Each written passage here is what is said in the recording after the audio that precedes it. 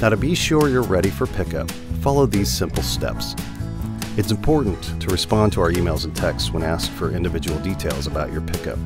This will help us ensure we have the right vehicle and number of workers to handle your pickup. It's also helpful to know about parking and general access. Have all your stuff ready to go. Put it all in one area if possible. Label your stuff. If you scheduled your pickup three or more days in advance, your labels will arrive prior to your pickup. If you don't receive the labels in advance, no problem, our team will do it when they arrive. Now download the free Livible app from Apple or Google Play. Log in and scan your first label.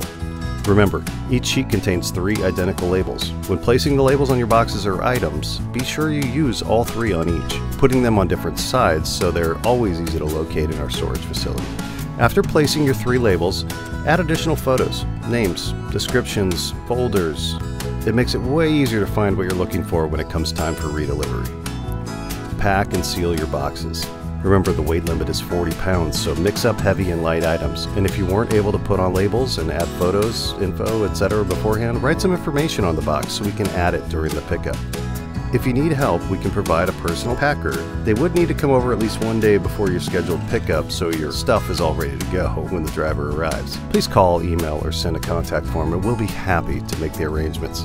If you need boxes, plastic containers, bubble wrap, tape, etc., use the storage supplies link in the web and apps. And finally, relax. Your stuff will be safe with us and available to be brought back to you anytime you need it. See you soon.